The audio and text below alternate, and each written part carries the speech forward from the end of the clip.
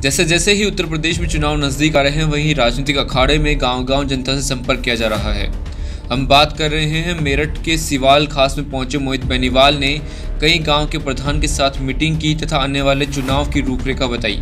वहीं जब हमने उनसे बात की तो उन्होंने आने वाले चुनाव पर चर्चा करते हुए यह बताया कि युवा किसान अब खुश नज़र आ रहा है।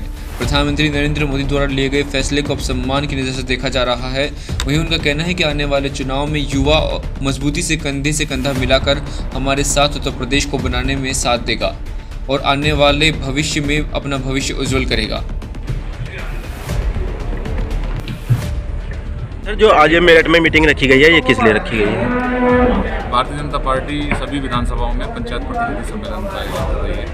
इसमें सभी ग्राम प्रधान क्षेत्र पंचायत सदस्य इन सबको बुलाया गया है। उन्हीं से संवाद करने के लिए आज मेरा यहाँ। सर जैसे ही युवा अब की बार कुछ खिलाफ है उसको लेकर तो उसके लिए क्या काम कर रही है? उत्तर प्रदेश में मान्य योगी जी की सरकार के समय में एक बहुत बड़ी संख्या में जो लोग यहाँ से पलायन करके चले गए थे। ऐसे अस्सी लाख लोगों को वापस वापसी हुई।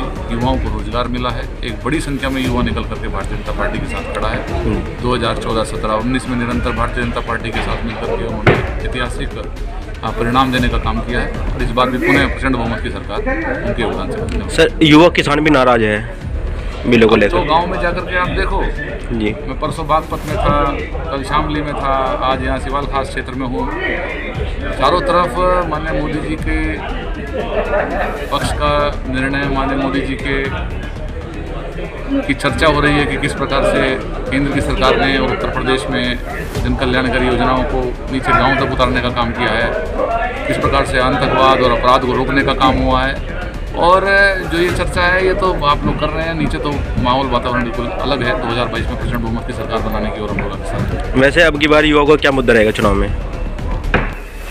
भारतीय जनता पार्टी की सरकार वह सब लोगों को साथ लेकर के गरीब शोषित पीड़ित वंचित महिला युवा आदिवासी सब लोगों को साथ जोड़ करके विकास की रफ्तार को और तेज करने के लिए किस प्रकार एक आत्मनिर्भर भारत की कल्पना हो उसके लिए और देश एक सही दिशा में जाए ताकि हम भविष्य के भारत का निर्माण कर सकें उसके लिए जन कल्याणकारी योजनाओं के माध्यम से सबके साथ मिलकर के काम कर रही है यही हमारा आने वाला समय है। तो आज यहाँ पे ये मीटिंग रखी है ये किस लिए रखी गई है?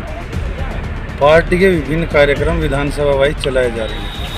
आज पंचायत प्रतिनिधि सम्मेलन था जिसमें पंचायत के सभी प्रतिनिधि विधानसभा के बुलाए गए थे ग्राम प्रधान बीडीसी के मेंबर जिला पंचायत के मेंबर सरकार की नीतियों के बारे में सरकार ने पिछले कार्यकाल में क्या किया? पूर्व की सरकारें क्या कर रही थी?